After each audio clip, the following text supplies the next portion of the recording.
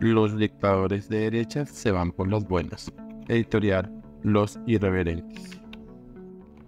Las dictaduras comunistas duran eternamente. Los tiranos salen del poder cuando mueren. Lenin, Stalin y demás cabecillas soviéticos. Las dinastías de los Qin en Corea del Norte, que va por la tercera sucesión. Empezó con Kim Il-sung, continuó con Kim Jong-il y va por el tercero Kim Jong-un. En Cuba los Castro, en Venezuela Chávez, en fin, la lista de ejemplos es inagotable. No sucede lo mismo con buena parte de las llamadas dictaduras de derecha. El ejemplo más interesante es el de España. Franco, que desde 1969 aseguró que todo estaba atado y bien atado, en referencia a la permanencia de su régimen cuando él muriera. Estaba muy equivocado. Su legatario, el rey Juan Carlos, estaba comprometido con ponerle fin al franquismo, ambientando el retorno a la democracia, como efectivamente sucedió. El monarca heredero de la jefatura de Estado a título de rey renunció a todo su poder, abriendo la puerta para la formación de partidos y la convocatoria a unas elecciones libres. La transición tomó fuerza con la redacción de la célebre Constitución de 1978. En 1988, Chile realizó un plebiscito con el fin de preguntarle al pueblo si estaba de acuerdo con el que el general Pinochet continuara al frente del gobierno que había asumido 15 años antes, por medio de un golpe de Estado. El resultado fue incontrastable. El 54% de los ciudadanos votaron por el no. Un año después se celebraron unas elecciones en las que el general no pudo participar.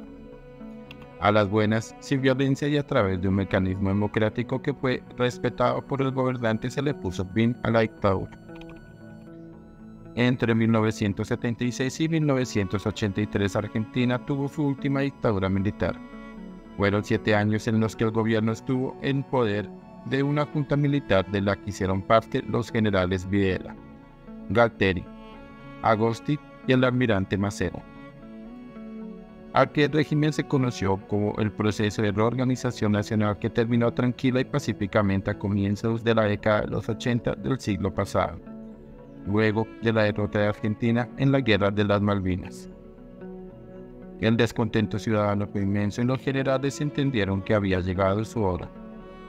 Entregaron el poder y desde entonces Argentina, con altibajos, ha vivido en democracia. En Uruguay sucedió exactamente lo mismo. La dictadura cívico-militar establecida por Bordaberry fue paulatinamente desvaneciéndose hasta la recuperación tranquila de la democracia a mediados de los 80 de la centuria anterior. En Brasil el proceso fue similar y con los mismos tiempos. En 1985 llegó un gobierno civil elegido por el voto universal. Las elecciones de aquel año fueron ganadas por Tancredo Neves, quien no pudo posesionarse porque murió días antes de la fecha en la que comenzaba su gobierno. Lo reemplazó el vicepresidente también elegido popularmente José Sarney. Maduro, además de ser un tirano de la peor calaña, es un terrorista internacional y un narco buscado por la justicia de los Estados Unidos. Su cabeza tiene un precio, 15 millones de dólares de recompensa para quien lo entregue o facilite su captura. Tendrá que comparecer ante una corte del Distrito Sur de la ciudad de Nueva York y responder por delitos de narcotráfico, tráfico de armas, lavado de dinero y homicidio.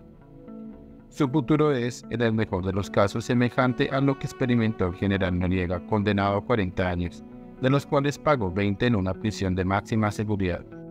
Por la gravedad de los crímenes cometidos por Maduro, es posible que reciba un castigo idéntico al del Chapo Guzmán, cadena perpetua.